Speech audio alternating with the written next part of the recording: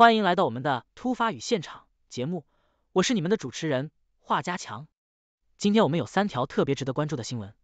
首先，中国载人航天工程第四批预备航天员选拔工作圆满结束。这次选拔不仅延续了年轻化的特点，还首次包括了来自港澳的载荷专家，为未来的登月任务打下坚实基础。专家表示，这一批次的航天员将进入中国航天员科研训练中心，接受全面系统的训练。为二零三零年前实现载人登陆月球做好准备。接下来，我们将深入探讨这一消息的更多细节和影响。接下来，美国总统拜登的次子亨特·拜登因持有枪支重罪被定罪。拜登迅速发表声明，表达了对儿子的爱与支持。尽管有罪判决可能对拜登的公众形象造成影响，但作为父亲，他更关心的是亨特的戒毒成功和家庭生活。在审判期间。拜登与家人一起在特拉华州威尔明顿市表现出对亨特的支持，显示出家庭的强大纽带。我们将继续关注这一家庭故事的发展。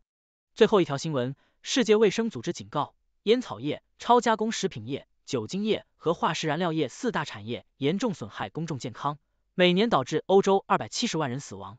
报告指出，这些产业通过政治和法律手段阻碍公共政策的实施，威胁公共健康成果。世卫呼吁各国加强对不健康产品的监管，以保护公众健康。请大家继续收看详细内容。侨报报道，中国载人航天工程的第四批预备航天员选拔工作已经完成，共有十名预备航天员入选，其中包括八名航天驾驶员和两名来自港澳的载荷专家。选拔工作自二零二二年下半年启动，经过初选、复选和定选三个阶段。中国载人航天工程航天员系统总设计师黄伟芬表示。这次选拔范围更广，包括陆海空三军现役飞行员和来自港澳的候选对象。专家认为，这批年轻化的预备航天员是为未来中国的载人登月任务做准备。中国计划在二零三零年前实现载人登陆月球。现有航天员的训练包括野外实习和地质考察等科目。嫦娥六号月球探测器也传回消息，宣布月球出差群已建好。嫦娥七号任务计划于二零二六年前后发射。将勘察月球南极环境和月壤水冰等。侨报报道，美国总统拜登的次子亨特·拜登因持有枪支重罪受审。拜登在陪审团作出有罪判决后发表声明，表达对儿子的爱与关怀。拜登表示，他和妻子吉尔维·亨特在戒毒过程中展现的坚韧感到自豪。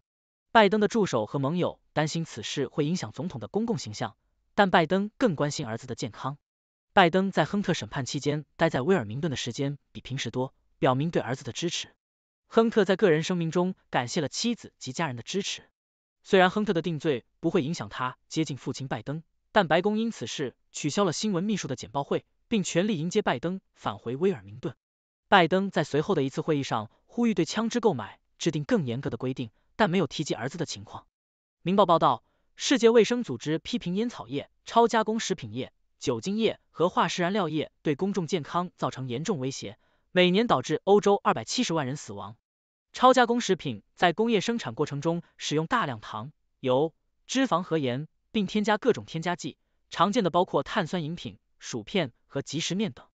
报告指出，这些行业的跨国企业在政治和法律层面发挥强大影响力，阻碍影响利润的法规和政策，并通过误导消费者和虚假宣传进行行销。世卫欧洲区总监克里热表示，这四大产业每天在包括中亚在内的五十三个国家造成至少七千人死亡，呼吁各国对不健康产品的营销和政策游说进行严格监管。世卫称，不健康饮食习惯导致欧洲近百分之六十的成年人和三分之一的儿童超重或肥胖。东方日报报道，中华少年儿童慈善救助基金会儿慈会近期因为义工柯某孝涉嫌诈骗事件而备受关注。柯某校曾是接受儿慈会救助的患儿家长，并于前年十一月开始参与九千九百五十八儿童大病紧急救助项目的相关工作。然而，去年六月至八月间，他以项目名义私自向患儿家长筹集资金，卷走近千万元人民币。民政部经过全面调查后，发现基金会内部管理不规范，救助项目操作违规，未依规定的业务范围进行活动，且未依法履行资讯公开义务等问题。对此，民政部对基金会作出停止活动三个月的行政处罚，并将其列入社会组织严重违法失信名单。同时，基金会副秘书长、九千九百五十八项目负责人王某因涉嫌职务犯罪，已被移送司法机关处理。东方日报报道，荷兰军事情报和安全局 MIVD 近日发出警告，指控中国的网络间谍活动比之前已知的更加广泛，攻击目标涵盖数十个西方政府、国际组织及国防相关公司。MIVD 声明指出，一个获中国支持的黑客组织去年对荷兰国防部进行了黑客攻击，数月内在全球造成至少两万名受害者，甚至可能更多。声明还警告，这些国家行为者很可能仍可访问大量受害者的系统。MIVD 敦促相关组织采用假设入侵的资讯安全原则，即假设成功的网攻已发生或即将发生。中国驻荷兰大使馆暂未回应上述报道，但中方多次否认网络间谍活动的指控，并强调反对一切形式的网攻。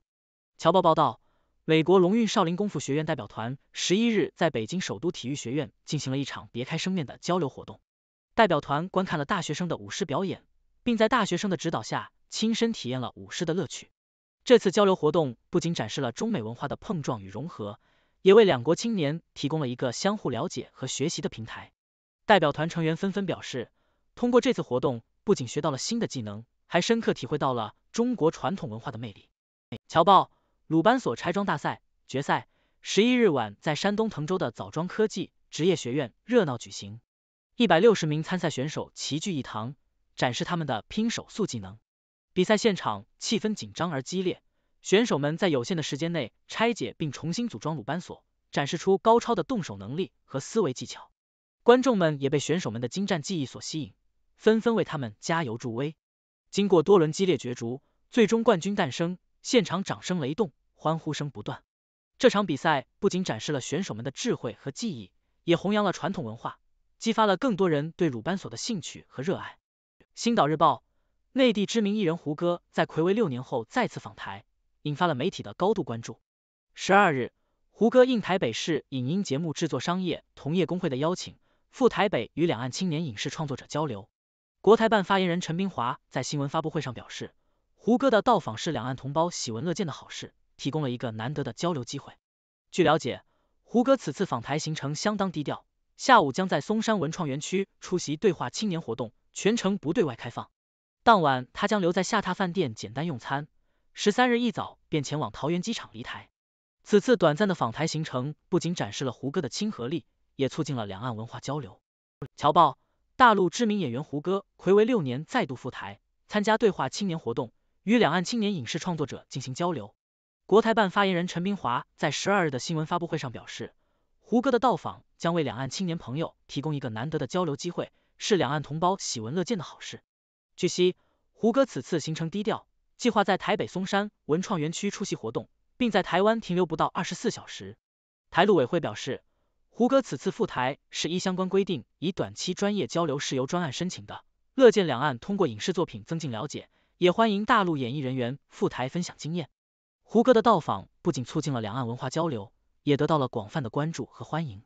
香港电台彭博社引述知情人士的报道指出。美国总统拜登政府正在考虑进一步限制中国获取用于人工智能的晶片技术，特别是那些刚刚进入市场的新型硬体技术。尽管目前尚不清楚美方官员何时会做出最终决定，但他们正在仔细考虑新规则的具体范围。据透露，美国的目标是通过技术限制，使中国难以组装、构建和操作人工智能模型所需的复杂计算系统，并在这些技术商业化之前封锁仍处于初期发展阶段的技术。对此，中国外交部早前表示，美方应将不寻求与华脱钩、不阻碍中国发展的承诺落到实处，停止保护主义做法，停止对华科技封锁限制，停止扰乱国际经贸秩序。谢谢大家收看以上节目，这是我们的编辑团队为大家搜集整理的认为有价值的信息观点，但是并不一定代表我们立场，不作为任何行为的建议。欢迎大家为我们的节目点赞，订阅我们的频道，谢谢。